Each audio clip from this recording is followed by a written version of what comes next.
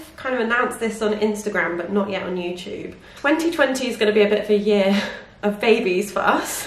Hopefully, all being well. I am currently pregnant. I'm actually coming up to six months next week. I'm in trimester two now, so I can feel the baby moving inside me, and it's literally incredible. I just lie and watch my belly and like see this baby moving inside it. And that's not the only baby. We have also just got a puppy and he is the cutest little thing ever. He's a Havanese and we've called him Bertie and I just love him with my whole heart. He's so cuddly, like he always just wants to sit on you and have cuddles and play. So we're like outside in the garden playing fetch with him, trying to train him, trying to introduce him to the cats. So I recently asked on my Instagram if anyone had any big questions around the pregnancy. You Salem? Let's get you up. Literally not having any of it.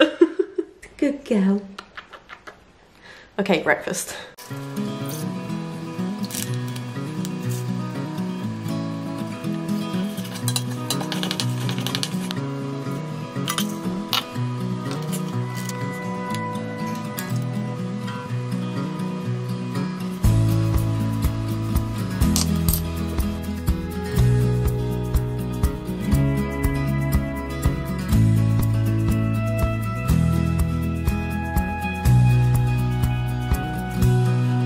I wrote these questions down on my phone.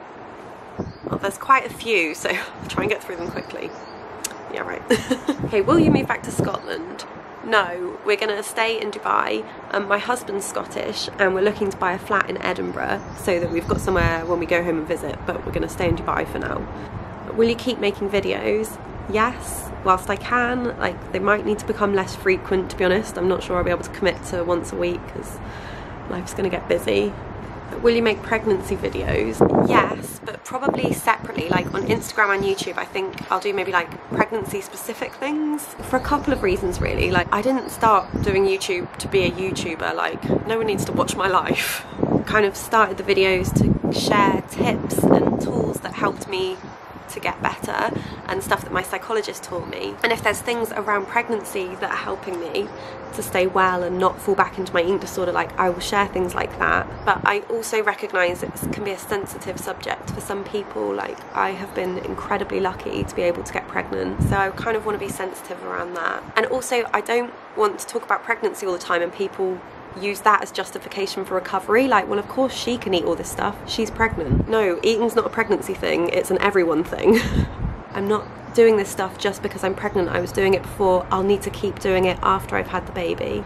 Is your gynecologist ED trained? No, she's not, but I told her straight away about my history. It's something you're always going to have to be conscious of, not just in pregnancy, like for the rest of your life, so that you don't fall back into an eating disorder. So I do think it's important health professionals know. And I also still get like specialised eating disorder help, so I still see my psychologist and a dietitian. I'll do one more, then I'm going to go and get the puppy.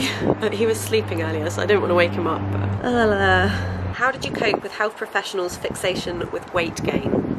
Oh, this is so annoying. You get weighed all the time and they're always talking about how much weight you should be gaining each month and blah blah blah. Which you should, to be fair, like in a healthy pregnancy, you do gain weight and you gain more weight than just the baby. I think you're actually supposed to gain something around 15 kilos, but it's definitely like over 10, 11 kilos. And that's more than the baby and the bits around the baby, the baby paraphernalia is gonna weigh. So yeah, you're going to gain weight. My psychologist tracks it with me for me. The way I look at it, the mentality I try and have is like my body is just doing what it needs to do to grow a healthy baby and that is more important than anything. So it's not for me to step in and try and control like no, I've just got to let my body do its thing at different points in your life you'll have different bodies. Like when you're recovering for example you'll have a recovery body. Maybe you'll overshoot your body's set weight at first. Maybe your weight won't distribute perfectly. A puffy face swelling like these things aren't necessarily forever but it's your recovery bod. Like it's what your body needs at that time. And same with pregnancy. I'm gonna have a pregnancy bod. It's gonna gain weight. Like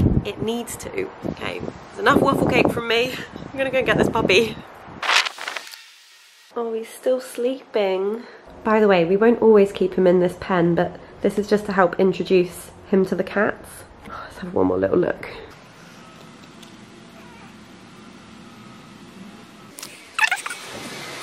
Stevie.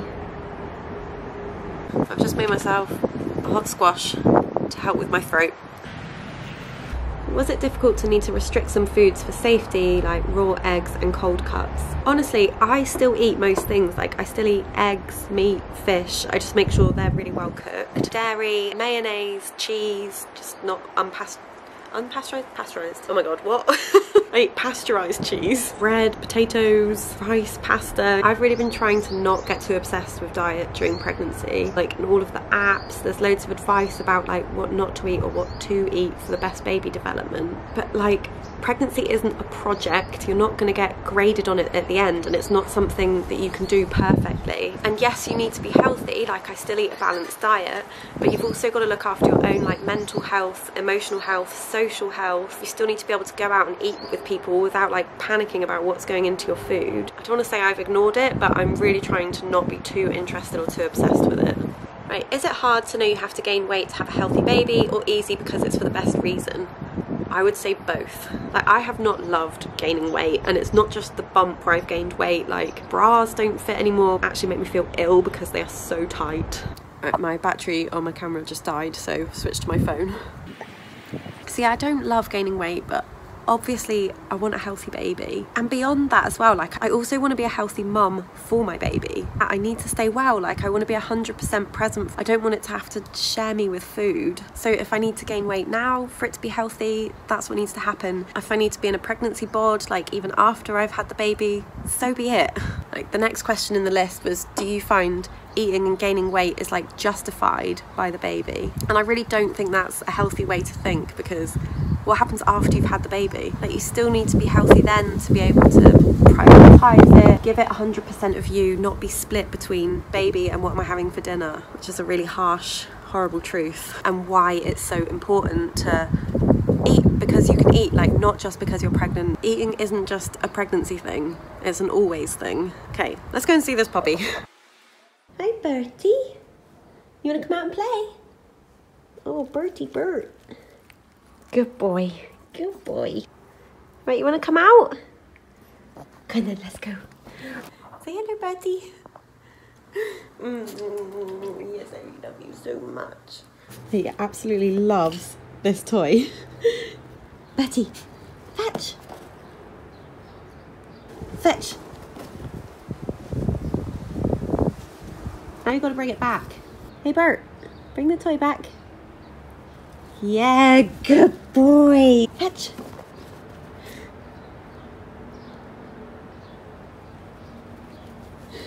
so good bringing it back.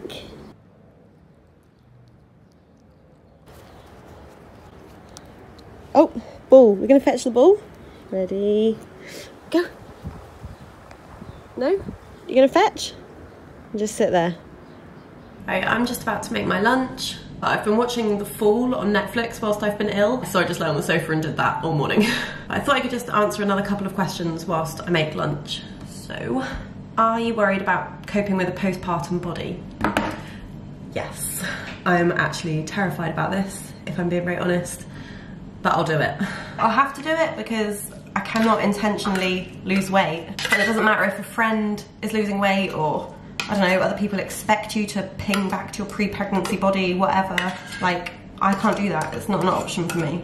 If I'm restricting, then my baby doesn't have all of me. Know, if I get thoughts of like, well, don't use real mayonnaise in your sandwiches. Just use low fat and save a couple of calories. Like, you need to lose some of this baby weight anyway. Like, where does that stop? And then before I know it, I'm scared of mayonnaise again. And then I can't go out and eat in a restaurant because what if they use real mayonnaise in my sandwich? And it's like, I'll just be sucked back into my eating disorder. And the more and more I develop like fears and old habits, and the less and less I'm me. So I just think it doesn't matter if a friend does it, or if I think I'm expected to do it, or like I want to do it even. I might not love my pregnancy bod, but there's more important things, you know, like staying well for my baby, staying well for me and Brendan. My psychologist agreed to keep seeing me, which is incredible. Like I'm so so grateful for that. And I've thought about maybe doing like a meal delivery service. Maybe even just for the first few weeks, like in case I'm busy or like tired or whatever, so there's not an excuse to start skipping meals. Mm, yum. But also like my body will have just done an incredible thing. Like I'm gonna just try and be grateful for it and like it's not gonna be my priority. Like my baby's gonna be. Okay, how did you decide when to start trying?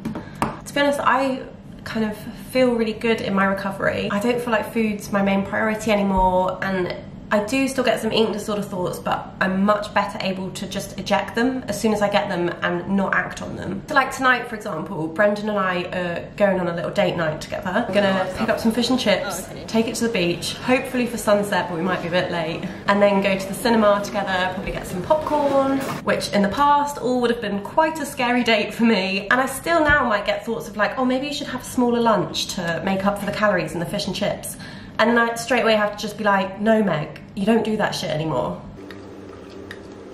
Also, I think it's really, really clicked for me this time that I can never afford to lose weight. And it doesn't matter whether it's intentional or unintentional, or whether it's like justified, like, oh, well, I was ill, of course I lost weight. Like, I've got a cold this week, it's not stopped me eating. That shit is never gonna be an option for me again. It will lead me back into an eating disorder. It's awkward as shit trying to answer a question and make lunch, so.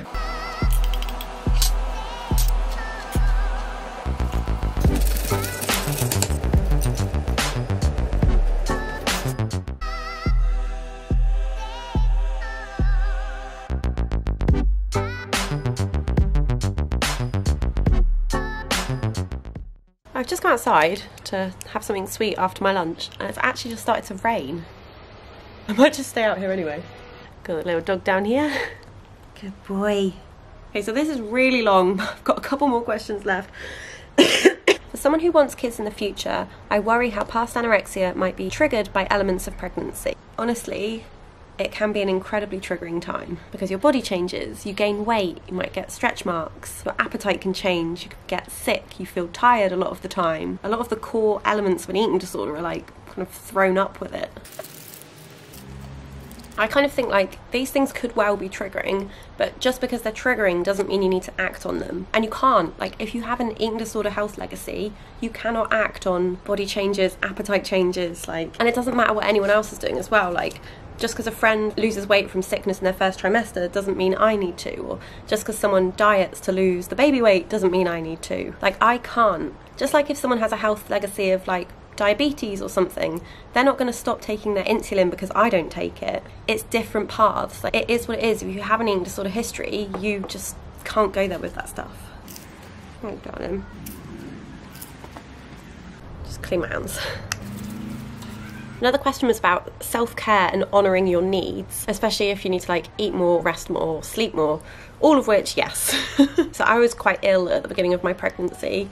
So I didn't do yoga for about four months, over four months. I couldn't go for a walk. Like often I could barely stand up. It was horrible. Did not mean I didn't eat. Didn't mean I lost weight. I was so, so adamant not to. Yeah, it was uncomfortable. I slept a lot more. I was sleeping about 10 hours a night. I was really just trying not to control my body. Like if it was tired, it needed to rest. If it wanted to eat something 30 minutes after breakfast, that's what it wanted to do. if it needs to gain weight, then so be it. Are you nervous your child will develop an eating disorder given the genetic component? Yeah, I am nervous to be honest. I think, what can we do? Like, we're just gonna love this baby with our whole hearts, completely unconditionally, and teach it things like all emotions are fine, you don't always need to be in a good mood, you can tolerate feeling bad, you don't have to be perfect all the time, good enough is good enough, and you're wonderful just as you are, like we will love you just as you are, you can make mistakes, you can fuck up, you can be a bit shit at things, like we're all human. I really do realise like I'm very very lucky to be in this position and I know this can be a difficult topic for people so please like if you need to unfollow me stop watching the videos like do protect yourself. And also please don't think like oh her recovery's so perfect look it's all falling into place for her. I honestly think I only have the things I have in life because of periods when I've been well enough to get them. I think you need space for life to move in, so you have to lose a bit of eating disorder before life can take that space. Which is hard because then you feel uncomfortable for periods of time, but like that's okay. It's okay to feel uncomfortable. And like things will still go wrong in my life as well, and I'll need to be able to cope with them and not turn back to an eating disorder because you can't only be well when things are good, you know. It's wee man. Lots of love to everyone. Speak to you soon.